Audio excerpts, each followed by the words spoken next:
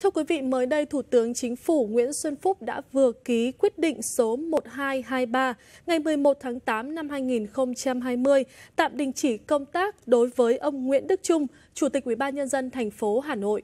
Ngày 11 tháng 8 năm 2020, Bộ Chính trị đã quyết định đình chỉ sinh hoạt Ban chấp hành Đảng bộ, Ban Thường vụ Thành ủy Hà Nội và đình chỉ chức vụ Phó Bí thư Thành ủy Hà Nội đối với ông Nguyễn Đức Trung để xác minh điều tra làm rõ trách nhiệm có liên quan của ông Trung trong một số vụ án theo quy định của pháp luật. Cùng ngày, Thủ tướng Chính phủ Nguyễn Xuân Phúc cũng đã ký quyết định số 1223 tạm đình chỉ công tác đối với ông Trung. Thời hạn tạm đình chỉ công tác là 90 ngày kể từ ngày ra quyết định tạm đình chỉ công tác. Trước đó, Tránh Văn phòng Bộ Công an cho biết cơ quan an ninh điều tra đã ra quyết định khởi tố vụ án chiếm đoạt tài liệu bí mật nhà nước liên quan đến thành viên tổ thư ký, tài xế của Chủ tịch Ủy ban nhân dân thành phố Hà Nội Nguyễn Đức Trung. Ông Sô cho biết vụ án vẫn đang trong quá trình điều tra.